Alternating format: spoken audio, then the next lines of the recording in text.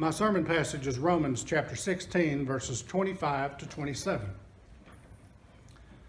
Now to him who is able to strengthen you according to my gospel and the preaching of Jesus Christ, according to the revelation of the mystery, which has kept secret for long ages, but is now disclosed, and through the prophetic writings is made known to all nations, according to the command of the eternal God, to bring about the obedience of faith, to the only wise God be glory forevermore through Jesus Christ. Amen. The word of the Lord. May God grant us wisdom and courage for interpretation.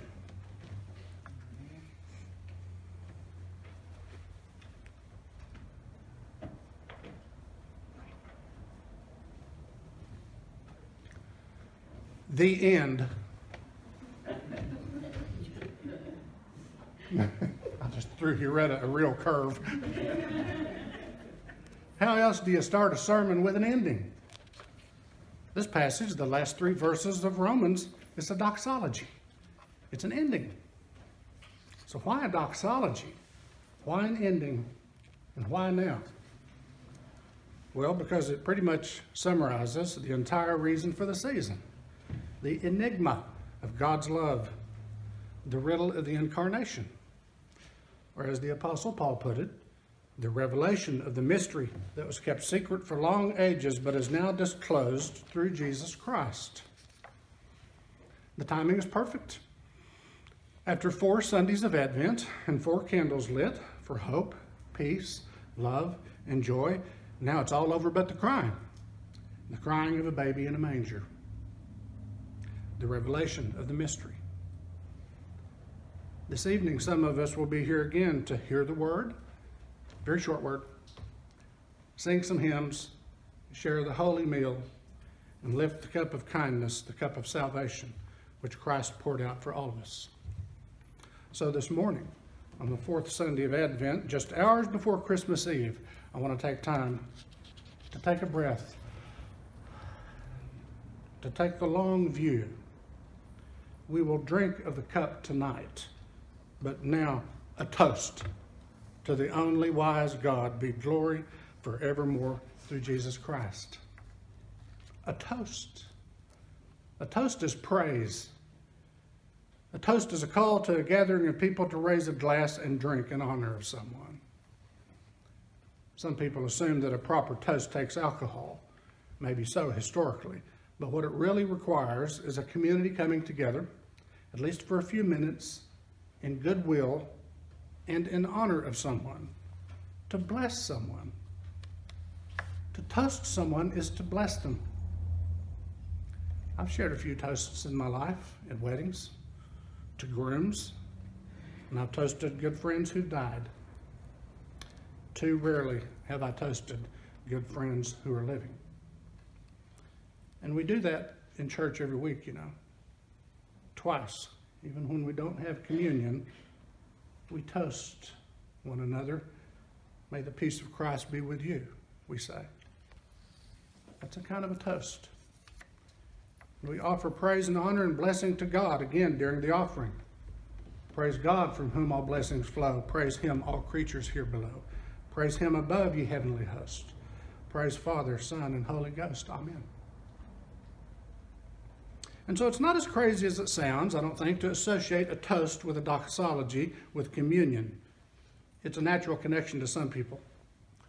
Once at Mayflower Congregational, one of the little kids from like right about there in the pew during communion actually said, to Jesus. And they actually clinked the little communion cups. It was great. They giggled and they whispered and the Reverend Lori Walkie, who was the youth minister at the time, said it was absolutely beautiful. Amen.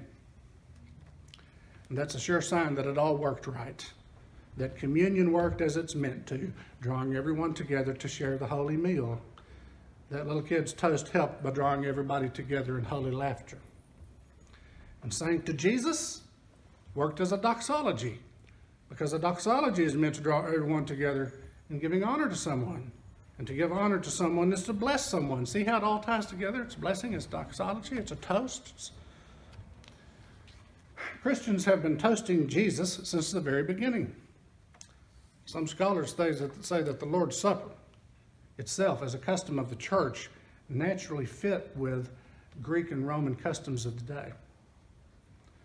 Believers in this God or that God would get together for a festive meal, or uh, we'd call it a banquet, or if it was small, we'd just say it was a dinner party. And at some point, someone would pour out a little wine as an offering. It's a libation. You may have heard that word. They'd pour out a little wine and say a few words, a prayer, or a toast to Zeus, to Jupiter, to Caesar, they would say. Well, here's a little more background on toasting. I have to admit where I got this. It's called uh, The Art of Manliness. it's a thing online. And I know, I know. Amidst all the bull, there's some pretty decent stuff, and this is one of the decent things. See, to those guys, a toast is a manly thing. Well, I just forget that. Full confession is to sourcing, okay. It said ancient toasters might choose a classic set toast that had been passed down for ages or decide to improvise on the spot. That sounds like prayer, doesn't it? Sometimes we use set prayers and sometimes we pray uh, spontaneously. The Greeks proposed short toasts to fallen comrades, to war, to peace, to leaders, to women, but most common of all, to their companions' health. We drink to your health, right? We toast to health. The practice continued in ancient Rome. Now, this I know for a fact because I studied it. It continued in ancient Rome and was perpetuated by legislation, which I did not know. The Roman Senate at one point decreed that all citizens were to toast to the health of Emperor Augustus during every meal. I can see that happening. To the emperor? No, the Christians said, to Jesus. Jesus is Lord, not Caesar we heard. And they said, well, to Jesus, not to Caesar, when they offered the libation. And I don't think it's hard at all to even imagine Jesus looking around at life the way he did. He looked at life as it was playing out around him to find simple things to communicate profound truths, right? He was a frequent dinner guest all the way through the Gospels. He's, he's at dinner with somebody and they're fussing with him or he's holding forth or whatever, you know, they're anointing his feet. A woman is anointing his feet with oil at a dinner party. No doubt he saw libations poured out to Greek and Roman gods or to Caesar himself. And no doubt Jesus heard toasts made in their honor. So keep that in mind. Keep that background in mind when you hear these words from the Gospel of Mark. Then Jesus took a cup, and after giving thanks, he gave it to them and all of them drank from it. He said to them, This is my blood of the covenant, which is poured out for many. Now, didn't he mean that he knew he was about to die and that his blood would be spilled or poured out on the cross? Yes. But could he have also meant for his disciples to come together and to break bread and to share wine in his name, in his memory, in his honor, to toast him, to bless his name, to do him honor? Not Caesar? Not any other false god? Yeah, maybe so. And it became a new custom built upon an old one.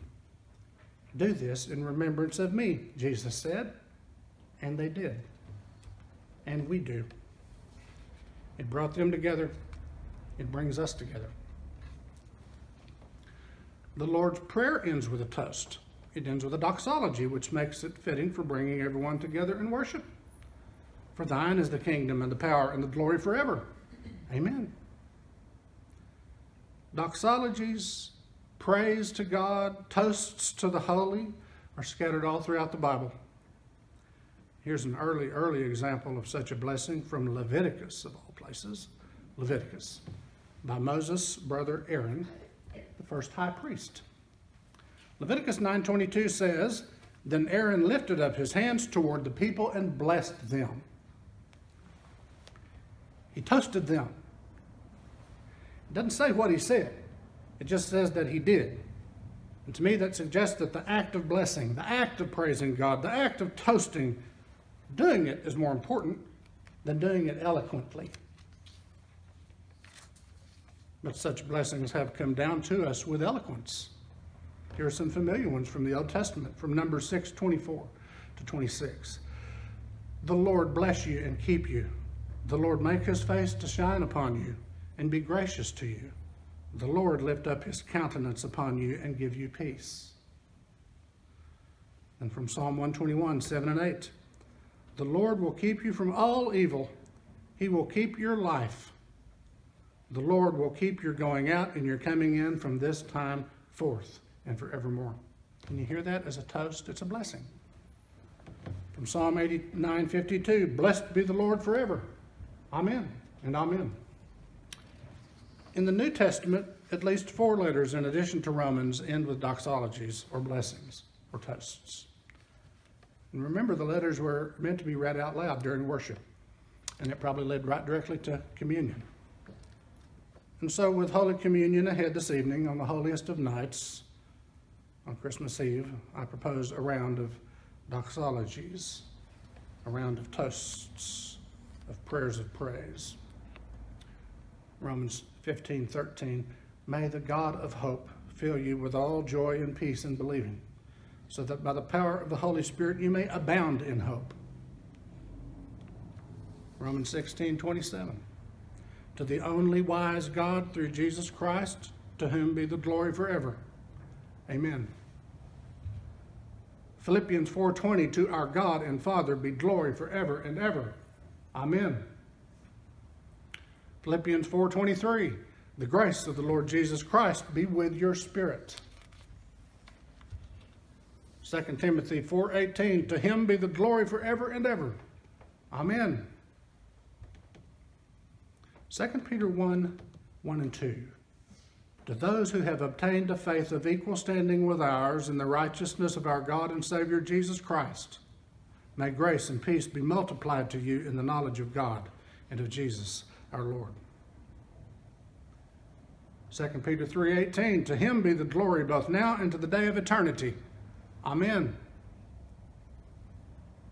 Finally from the tiny letter of Jude from verse 25 To the only God our Savior through Jesus Christ our Lord be glory, majesty, power, and authority before all time and now and forever.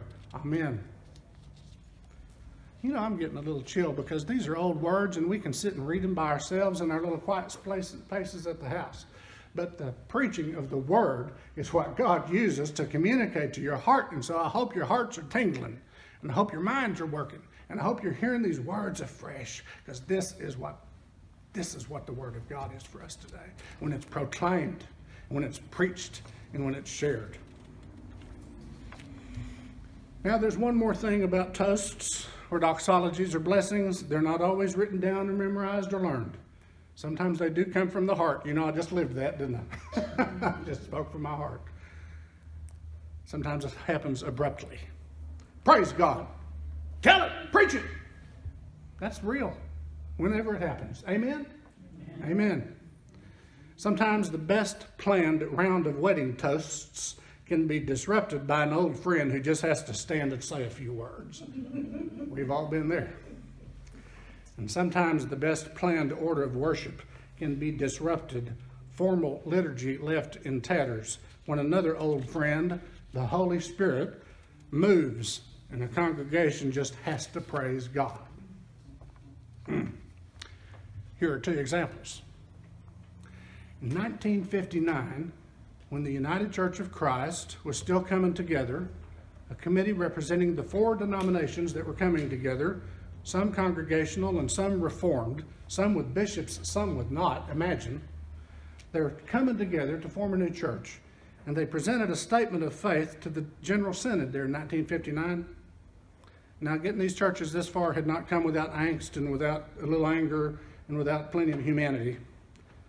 So people, uh, when they presented the statement of faith, people were bracing for a floor fight. Instead, it was read out loud. There was silence, and there was no debate. It was approved unanimously. And then people spontaneously burst into singing the doxology. Praise God from whom all blessings flow. That is a historical fact, and it gives me chills to think about it. These are liturgical minded people, right? Everything's written down.